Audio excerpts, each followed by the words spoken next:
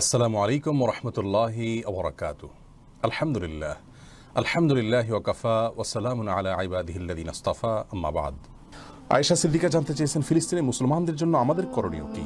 বোন আয়েশা, ফিলিস্তিনি মুসলমানদের জন্য আমাদের করণীয় কি? বিষয়টা অনেক হাইপোথেটিক্যাল এই জন্য এটাকে উচ্চমার্গীয় বললাম যে এই বিষয়গুলোকে আসলে নিরূপণ করা, নির্ধারণ করা, আমাদের করণীয় ঠিক করার কাজটি আসলে কেবারে ওলামা, বড় বড় ওলামা একরামের কাজ। আমাদের মতো তালিবিল যারা আছি, আমরা এই ধরনের উচ্চমার্গীয় বিষয়গুলোতে এক, দুই, তিন করে হয়তো কিছু পরামর্শ বা নিজেদের মতামত বলতে পারি বাকি চূড়ান্ত এবং মূল করণীয় নির্ধারণ করবেন কেবারে ওলামা, বড় বড় ওলামা একরাম। সারা বিশ্বে যে সমস্ত ওলামা একরাম আছেন, আমরা দোয়া করি আল্লাহ রব্বুল আলমিন তাদেরকে সঠিক পথের দিশা দেন। তারা যেন আমাদেরকে সেভাবে গাইড করতে পারেন, যেটা মুসলিম উম্মার জন্য উপকারে আসবে। এবং মুসলিম জাতিকে যারা নেতৃত্ব দিচ্ছেন সেই শাসক বর্গকে আল্লাহ রব্বুল আলমী হেদায়ত দান করুন, আমরা দোয়া করি। আপাত দৃষ্টিতে কিছু কাজ তো আমরা করতেই পারি। কি কি কাজ করলে আমরা সমাধানের পথ খুঁজে পাবো, সে বিষয়গুলো বড় বড় আমার ঠিক করবেন। আমরা কয়েকটা পরামর্শ দিতে পারি। প্রথমত ওহুয়া ইসলামিয়া বা মুসলিম ভ্রাতৃত্ব সেটা আমাদের অন্তরের অন্তঃস্থলে গহীনভাবে গেঁথে নিতে হবে। এটির আজকে বড় প্রচণ্ড অভাব চলছে।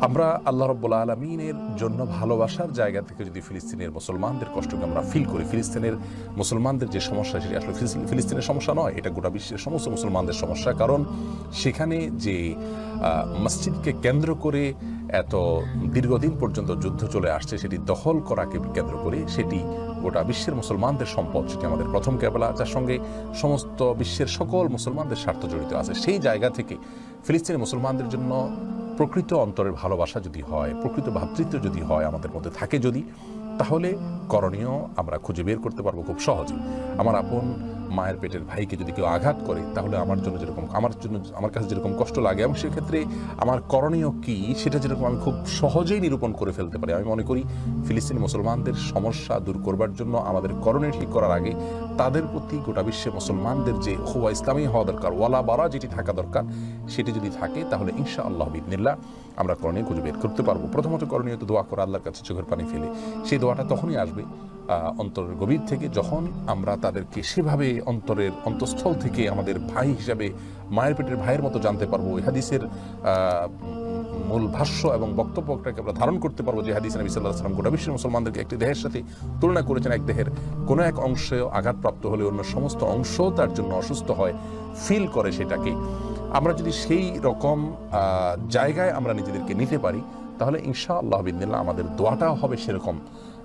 আমার নিজের সহোদর ভাই, আমার নিজের কোলের সন্তান, তার মৃত্যুতে তাকে কেউ খুন করলে, তাকে কেউ আঘাত করলে, তাকে কেউ বাস্তুহারা করলে, বাস্তুচ্যুত করলে, তার জন্য যেরকম আমাদের কষ্ট হয়, তার জন্য যেরকম হৃদয় ভাঙা দোয়া আসে, ঠিক ফিলিস্তিনি মুসলমানদের জন্য সেই রকম দোয়া আমাদের আসা দরকার। আর সেই দোয়া আসার জন্য পূর্ব শর্ত হলো ওহুয়া ইসলামিয়া বা মুসলিম ভ্রাতৃত্বের বোধটা আমাদের মধ্যে ধারণ করা, এটা ইমানের পূর্ণাঙ্গত একটা পূর্ব শর্ত সেটি আমাদের অনেক মুসলিম ভাইরা জানেন দ্বিতীয়ত একটি কাজ খুব সহজে আমরা করতে পারি। অভিশপ্ত ইসরায়েলি ইয়াহুদিদেরকে কোণঠাসা করার জন্য আমরা যে কাজটা করতে পারি তা হলো পৃথিবীর দুইশো কোটি মুসলমান যদি ইসরায়েলি পণ্যগুলোকে আমরা যদি বর্জন করি, সব পণ্য হয়তো আমরা বর্জন করতে পারব না।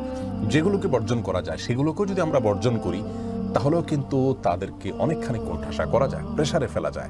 কিন্তু দুঃখজনক যে সেই চেতনা আমাদের মধ্যে নাই। আমার ভাইকে খুন করেছে কেউ। তার যদি একটা মুদি দোকান থাকে, আমি সেই দোকান থেকে কখনো সদাই কেনার কথা নয়। প্রয়োজনে অন্য দোকান থেকে দশ টাকা বেশি দিয়ে আমি কিনবো। তারপরে ওই খুনির দোকান থেকে আমি কিনবো না, আমার ভাইয়ের হন্তারকের দোকানে আমি যাব না। ঠিক তেমনি ভাবে একজন মুসলিম কখনো ইসরায়েলিদের পণ্য কিনতে পারে না যারা আমার মুসলিম ভাইদের রক্ত চুষছে নিয়মিতভাবে।